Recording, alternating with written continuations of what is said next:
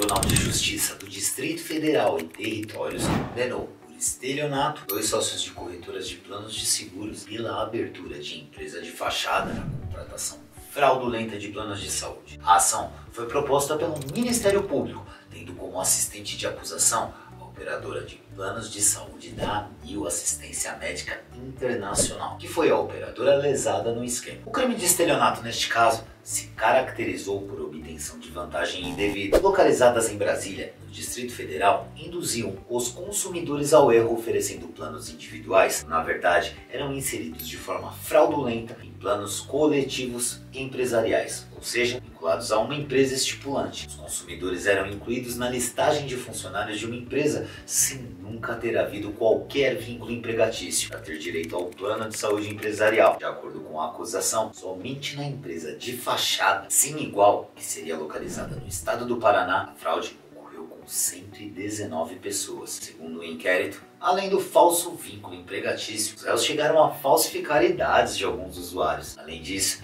eles arrecadaram diretamente dos beneficiários um valor que seria referente à mensalidade, repassando à operadora um valor ainda bem menor. A sentença foi proferida em 19 de dezembro de 2022. A AMIL, que criou os mecanismos para detectar fraudes, esclareceu que as corretoras não têm autorização para emitir boletos bancários para usuários dos planos de saúde. Ressaltou também que não comercializa planos individuais, que os pagamentos dos planos coletivos são realizados pela empresa estipulante e não pelos usuários. A Fé na Saúde, a Federação Nacional de Saúde Suplementar, pontua que fraudes como essa prejudicam não só os planos de saúde, mas principalmente todos os consumidores. Essas práticas criminosas deixam evidente que os beneficiários são os maiores prejudicados pelas fraudes na saúde suplementar. Neste caso, chama a atenção a ação articulada desses corretores. Cuidado necessário, não somente durante o uso dos serviços, mas também no momento da contratação dos planos de saúde, alerta a federação. Para você está buscando